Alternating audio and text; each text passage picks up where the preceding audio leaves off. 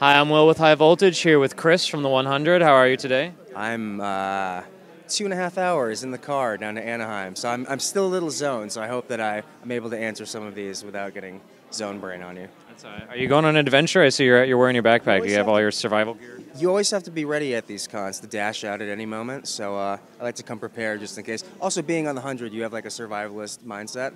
So just just in case, got some essentials.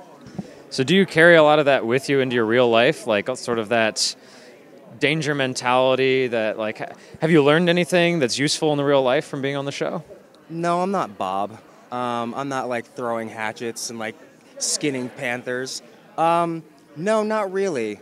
I uh, well, you know, I never brought the backpack around as much as I did outside of school. So yeah, yeah. Here, let's see what's in here. Let's see. So uh, all my friends are having kids.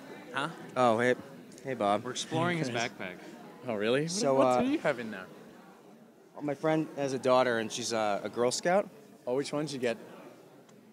The Samoa's the best. Samoas. Those are tasty. Yeah, Those they're, are they're, uh, dangerous. there's coconut flakes. I think that's what makes it.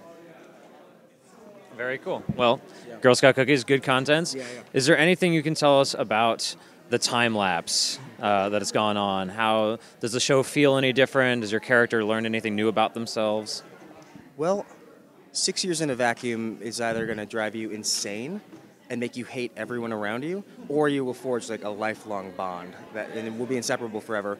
Um, without teasing or spoiling anything, I would like to think that Monty and Harper, given everything they'd been through together on the ground, that like a firm piece of oak, they've only gotten stronger with age.